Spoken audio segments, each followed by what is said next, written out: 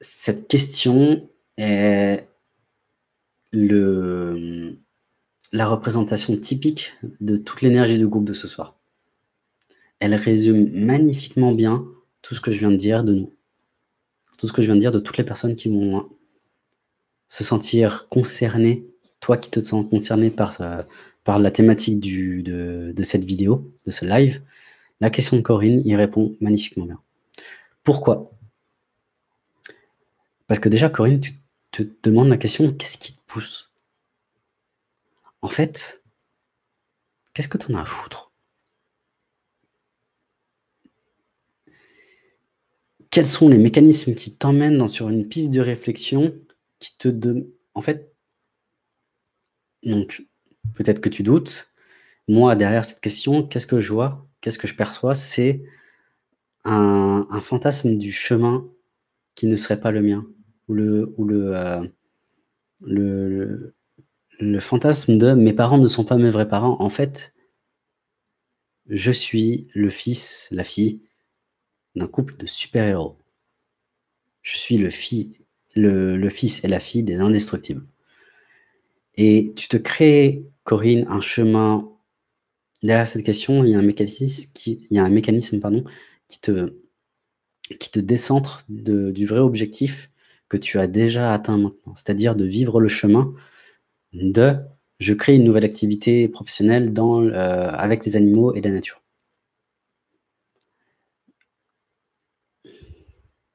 Derrière ce... Ok, on va aller vers ça. Je suis toujours ce que le silence me dit, toujours. Derrière ce mécanisme de j'ai des parents, en fait, mes parents ne sont pas pauvres, ils sont riches. Mes parents ne sont pas mes vrais parents.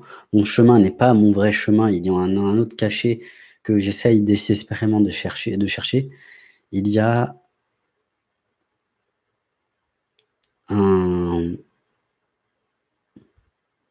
un aphorisme. Je ne sais pas ce que ça veut dire. Je vais aller chercher. Je sais même pas. Je sais pas ce que c'est. Est-ce que ça existe un aphorisme? Comme mot?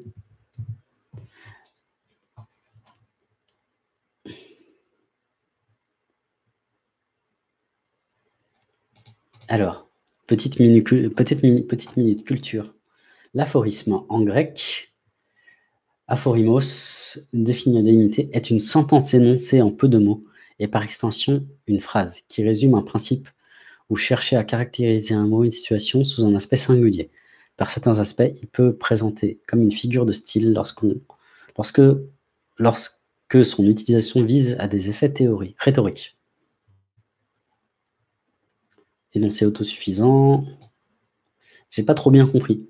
Si vous avez un, une définition plus claire pour moi sur le chat, je suis, je suis preneur. Bon, bref. Derrière, mais soit dit en passant, c'est pas le.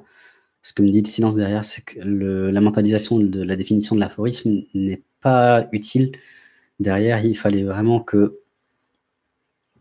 Ok, pourquoi je parlais d'aphorisme? C'est parce qu'il y avait euh, y avait cette notion de délimitation. Euh, tu délimites toi-même. Ah, mais oui, c'est ça. Merci. Je parle au silence, oui. Euh, pourquoi est-ce que tu as ce, cette croyance que ton chemin n'est pas le vrai chemin, Corinne? C'est parce que, je ferme la fenêtre de Wikipédia, c'est parce que tu ne veux pas te délimiter par manque de choix. Tu voudrais que ton, ton choix soit confirmé et reconfirmé et affirmé, que le monde entier te, que les anges et, tout le tintouin viennent avec une pancarte du haut des cieux et te disent c'est par là. Derrière, il y a un manque de sûreté par rapport à toi-même. Ah, et derrière, tu veux pas jouir en fait. Oh, ok, on est là. Ça, c'est l'information que tu devais entendre pour ce soir tu ne souhaites pas forcément jouir de ta vie. Pourquoi tu ne souhaites pas jouir de ta vie Pour être sûr et certain de ne pas, de ne pas louper le chemin. Pardon. Parce que de la jouissance, pour toi, te détourne du chemin. de ton chemin, de la pureté, etc., etc. Et toutes ces conneries. Donc, ça, ça a bougé. Pour le groupe, qu'est-ce que ça veut dire? Pour le groupe, ok, ça me renvoie, je dois rester avec moi-même. Il y a sans cesse quelque chose à voir avec moi-même et les autres n'ont rien à voir dedans. Donc on s'enferme dans une espèce de bulle illusoire de je dois travailler sur moi ou ce sera toujours meilleur plus tard ou je vais travailler sur moi dans ma grotte et ensuite je vais partir à la conquête du monde dès que je serai réalisé. Euh, c'est une recherche de soi déconnectée de la réalité. Là, ok. Ça, c'est bon, c'est posé. Et qu'est-ce qu'il y a d'autre pour tout le monde? Ouais. Euh, qu'est-ce qu'il y a à exprimer pour désenclencher ce mécanisme-là et faire bouger tout le groupe?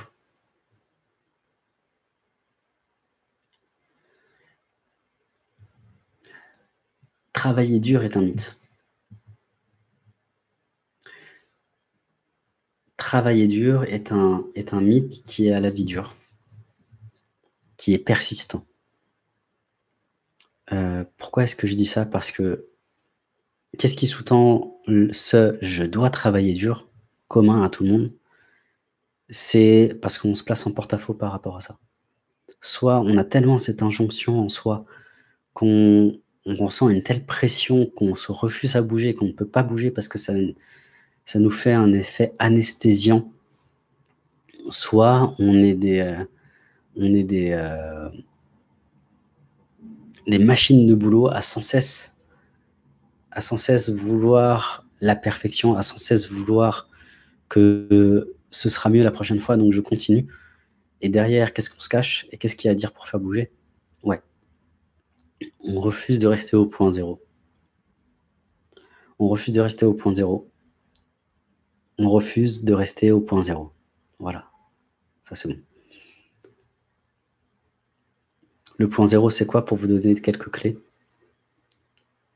Sachant que le simple fait que je l'énonce, et d'ailleurs vous pouvez aussi répéter cette phrase-là, je suis au point zéro. Ouais. Pas pour que ça bouge, mais pour que votre euh, mental et votre conscience se rendent compte que ça a déjà bougé. Et le point zéro, comment vous pouvez incarner cette information dans la matière, dans vos vies, dans votre quotidien, dans votre corps, dans vos cellules, dans votre ADN, en ne recherchant pas un effet particulier? Ok, c'est le contraire de tout ce que j'ai fait cet après-midi. Cet après-midi, j'ai passé trois heures à chercher un logiciel de... Euh, un logiciel qui me permette de poster sur plusieurs groupes simultanément. J'ai passé trois putains d'heures à petit à petit perdre mon énergie, à petit à petit euh, pas m'énerver, mais j'y étais presque.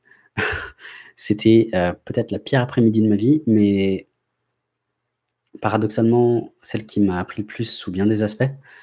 Mais bref. J'ai cherché quelque chose de précis, de concret, et je ne lâchais pas l'affaire. Voilà ce qui nous met en porte-à-faux.